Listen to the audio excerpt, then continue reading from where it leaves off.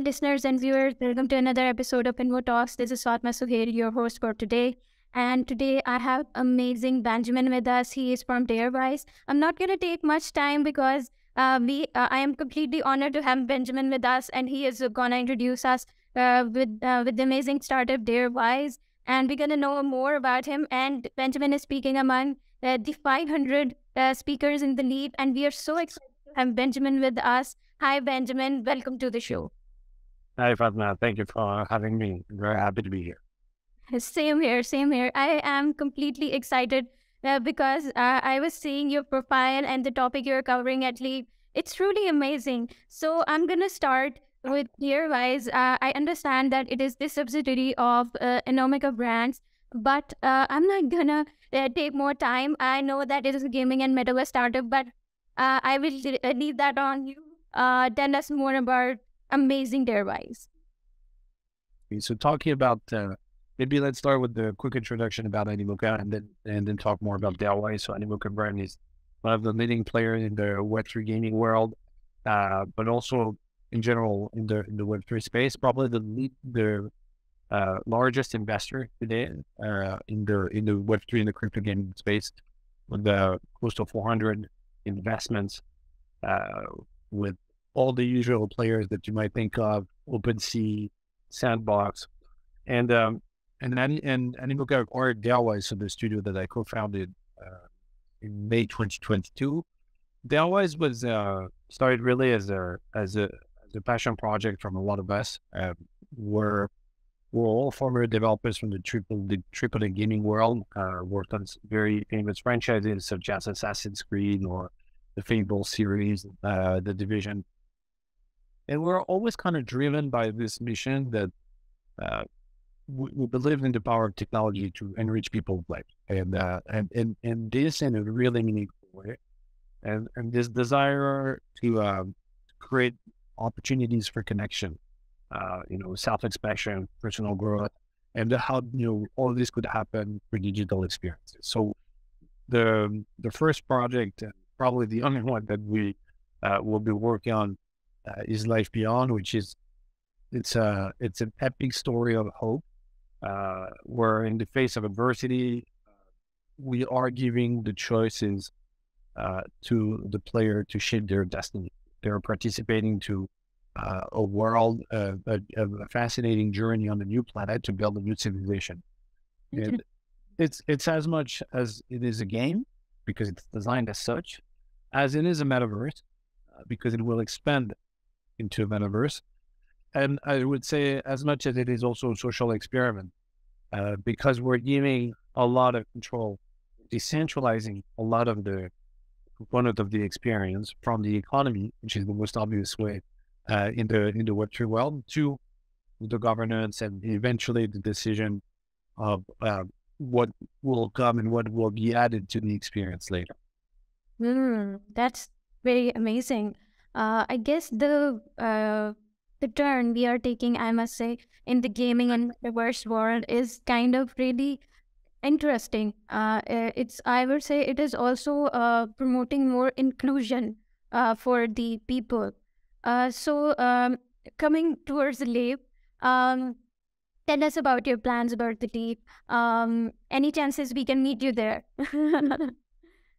Yeah, and I'm I'm going to be uh, spending the whole week uh, in Saudi uh, for for me, but also to you know meet and entertain the relationship that I already started building uh, not so long ago, uh, because I was here uh, a month ago already, and I've been really blown away by my trip. Um, the um, the like the the level of knowledge from the people I met when it comes to you know, technology, entertainment, uh, metaverse was really was really interesting, and uh, I think there's a great energy, great dynamic um, happening right now in, Saudi Arabia. So uh, when when they reached out uh, asking if I would be interested to participate, uh, yeah, it did, it did take it didn't take long for me to answer. Mm. Yeah, you're completely right. So the Arab and the whole uh, land, uh, Arab land is uh, unfolding, I must say, in uh, terms of startups because uh, startups and the whole technology world because uh, I was reading somewhere that startups are quite there's quite a vibrant landscape of startups in Saudi Arabia, and that's quite interesting. Um, so it InvoZone team will be very happy to meet you there, and I hope we get a chance uh, to spend some time together. Um, so you were speaking on uh, creative economy, as you said. Uh, so, uh, what aspects uh, do you plan to cover there? Just pointers for our audience. So, as it will be a panel, it will depend on the questions that the, the moderator will, will ask. But I think it's inevitable to talk about, you know, like this this uh, very inspiring or exciting concept of the creator economy. How does it really translate? You know, what what does it mean concretely when you're really trying to put in, in, in motion. Because that's great on paper, but, but what does it mean? And how far it can go. Um, Darewise, we're really like fascinated by this opportunity where, you know, we're all MMO natives and Darewise, and including myself, we, we've been living in these worlds, these virtual worlds for a long time, but without really the opportunity to actively participate to an economy because for some reason the publishers were kind of preventing this all the time. And we had to go on gray or black markets to be able to do.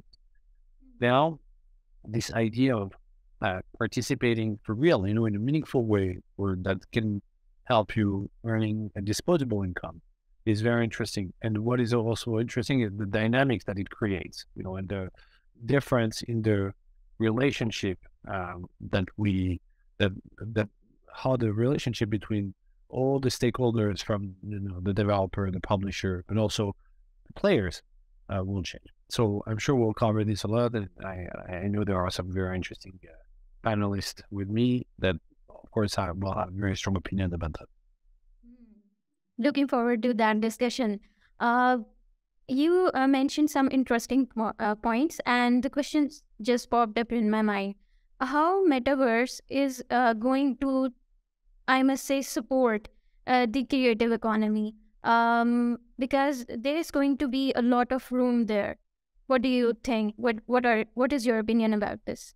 Well, so I think first the the word creator economy might change over time because right now the the the very um, uh, common concept that we think of is the economy of people creating new content, but uh, as we're moving into these worlds that are powered by NFTs and ERC20 tokens, the economy can also be about people participating to the life of the world, which in a way makes them creators. So if I go back to life beyond, if tomorrow I build a farm and I start, uh, you know, uh, planting seed, harvesting my crops, selling the output of my labor, am I a creator? I think so. You're not per se creating in a 3D software, but you are creating in the world. You're creating the carrot that did not exist before you planted the seed. So the definition of creator will change over time. What is fascinating is the idea that uh, these activities that people might disregard saying, oh, they don't create any tangible value. Well, I think they do. I think they create a lot of value because in our world today, which is not about survival anymore, you know, we're not struggling for food and uh, and for security, thank God, then we our uh, our Maslow pyramid is very different. We're searching first for other things. So I think this is where the conversation can be. You know, what does it imply? And definitely, it's we're, we're at the very beginning of this whole book. Mm-hmm. I completely agree that creative economy is gonna unfold and it's gonna change time by time.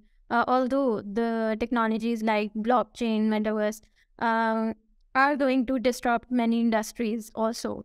So um, I, I, am again gonna come back uh, for the leap um, because I'm uh, quite inter- excited for that. Um, uh, we are gonna. I'm gonna ask the question like, what are your expectations from the LEAP? Because uh, obviously, when uh, you are going uh, at an event you have certain expectations you're gonna network you're gonna socialize you're gonna meet. Uh, those are the primary parts. Uh, but what do you expect for your startup uh, for Darewise as a whole for yourself uh, from the LEAP I think um, well, the first thing is I'm always enjoying and, and also uh, are I'm very grateful for usually being you know uh, surrounded with thought leaders, creative people have like are really like at the forefront of these new dynamics and, and, and can share some some some intelligence together. So that's I think is a is a great opportunity, and so that's why uh, I'm attending. So I'm very already excited about this thing, you know, to be able to just uh, take advantage and leverage this. Of course, I think it's also a great location right now uh, to connect with, uh, uh, you know, people coming from all over the world to discuss these topics, but also uh, with the local ecosystem that I am really eager to um, uh, connect even further with and you know start talk about potential partnerships and see how we can eventually collaborate in the future. Yeah, interesting. So Invo's team will be excited to meet you over there. And thank you so much, Benjamin, for getting out your time and being with us. Uh, it was uh, really uh, exciting to have you, and at the same time, we are greatly honored. Thank you so much uh, for putting this together, and looking forward to seeing you all there. Great. We will stay in touch with you.